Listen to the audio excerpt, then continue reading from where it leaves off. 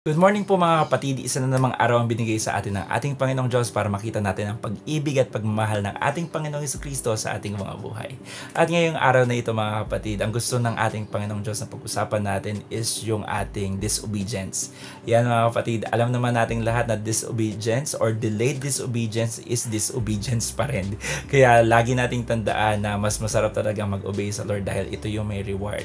So kapag tayo nagde-disobey, we are actually losing the opportunity to gain the blessing of the Lord uh, more urgently sa ating mga buhay.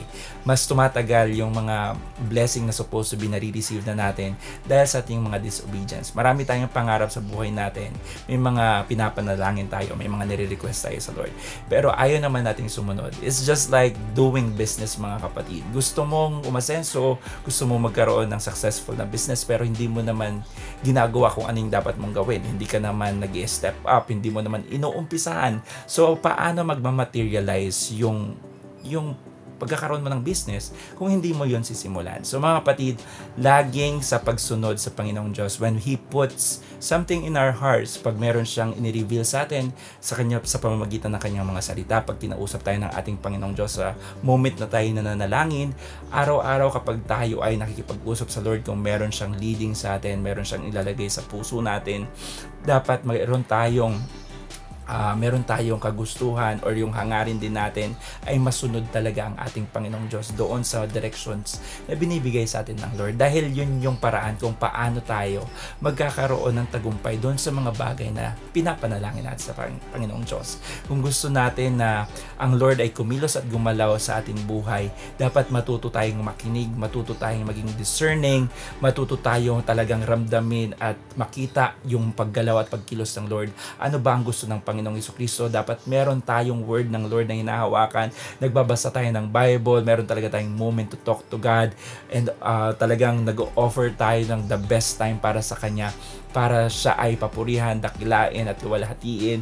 Ibigay natin ang ating mga puso, ang ating mga buhay sa Kanya dahil gusto natin na lahat ng aspeto ng buhay natin ay magtagumpay hindi lang tayo ng mga kapatid, kundi ang Panginoong Diyos.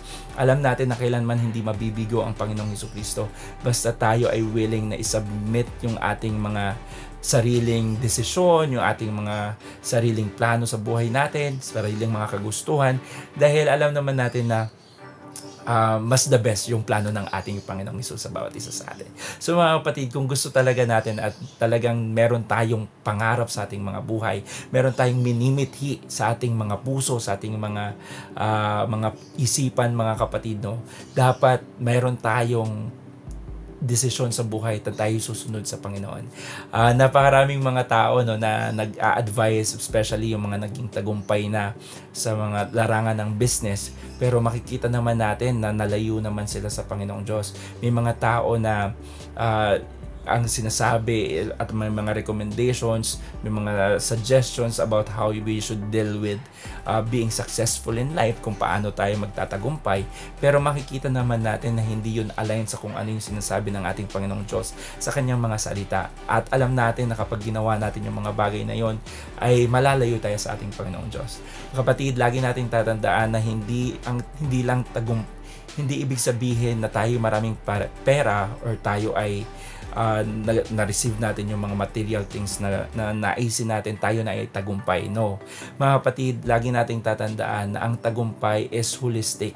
Ang tagumpay is kapag ikaw ay makikita mo yung sarili mo, na ikaw ay makakatulog at peace ka, wala kang, wala kang nararamdamang galit sa puso mo, wala kang inagrabyadong tao, wala kang uh, minaliit or uh, kinompromise na na ugali mo, inompremise na magagandang values para lang maka- matanggap mo yan. Dahil ang daming tao na nagtatagumpay, ang daming tao na I would say yung mayaman or nare-receive nila yung yung mga pera at yung mga yung mga material things na yan pero hindi sa tamang paraan, 'di ba?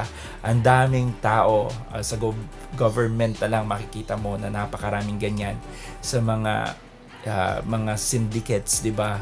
Mga drugs and all that uh, madaming yung mayaman and meron naman mga ano mga scam yung mga ganyan yung mga tao na nagte-take advantage sa mga tao so mga kapatid um, pwedeng yumaman ng isang tao pwedeng magkaroon sila ng maraming pera pero it those things ay hindi ibig sabihin na sila ay magiging masaya. Hindi ibig sabihin sila ay magiging kontento.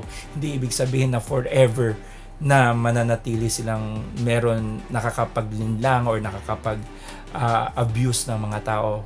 Alam niyo mga kapatid, ang tunay na tagumpay is yung tagumpay na nananatili hanggang hanggang sa katapusan ng buhay natin dito sa mundong to.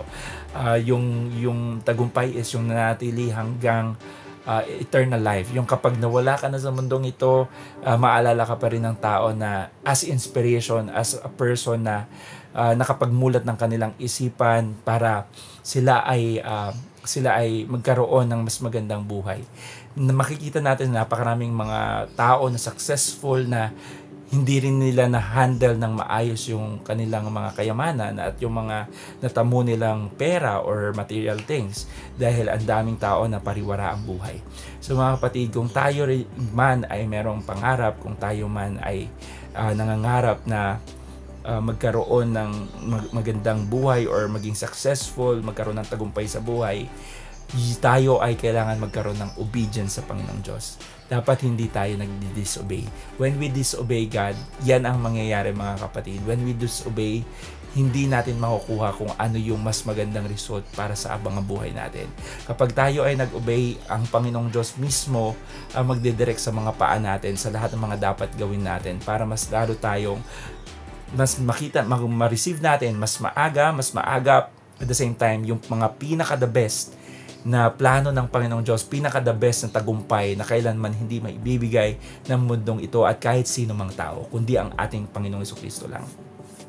So mga kapatid, kung ikaw ay isa sa mga tao na alam mo nang narinig mo ang Panginoong Diyos, kung ikaw ay sa mga tao na binubulungan ng Lord, ng Holy Spirit, talagang sinasabi sa iyo na gawin mo kung ano yung dapat, kung ano yung tama, kung ano yung nararapat sa mata ng Panginoong Diyos. I hope hindi na tayo magbingi-bingihan, magbulag-bulagan dahil lang uh, mako-compromise natin yung, yung flow ng pera or ng material things. Alam mga kapatid, huwag kang matakot dyan sa mga bagay na yun dahil mas higit pa dyan ang plano ng Panginoong Diyos about isa sa atin. Hindi lang dyan sa bagay na yun, kundi lahat ng aspeto ng buhay natin. Kaya mga kapatid sa atin na mga patuloy na committed at gusto na maranasan, maramdaman ng Panginoong Diyos, ang kabutihan niya at pag-ibig niya, yung peace, yung love, makatulog ng tamang oras, makapagpahinga sa tamang oras, at yung maramdaman mong napakasaya ng buhay mo na wala mong kailangang isipin na kung ano-ano, mga kapatid, nandyan ang ating Panginoong Diyos nag-aantay sa atin. Talagang sundin natin siya,